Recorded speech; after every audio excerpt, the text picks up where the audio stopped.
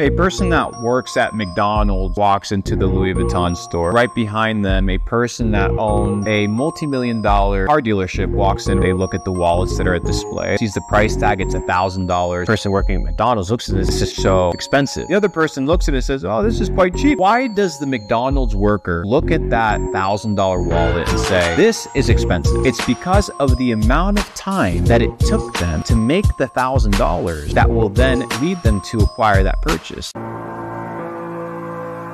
I got shit on because all I wear is Balenciaga shirts, right? Because when I was poor, I either wear Balenciaga and I was I used to eat really bad food. My parents didn't have a lot of money and stuff like that. Of course. So it was healthy food and t-shirts. And that's how I looked at it. I looked at the kings, the kings of China, the emperors, all these things. What did they wear? The most expensive silk and they ate the best food. If I want to be a king, I have to dress like a king. I have to eat like a king. I have to study like a king. That's why I like my suits. That's why I like my tailors. That's what we're doing on the third, G. Yeah, yeah. I know, bro. I'm getting, getting my first uh, John Wick tailored 10k suit, G. Yeah. Damn. Savile Row, man. Like, that's what I'm telling you, bro. Like, you, you, that's what I'm saying. Like, if you don't deck out this Ferrari, and I'm not talking about like flashy shit. I'm talking about like, bro, like when people look at you and like that, that's it.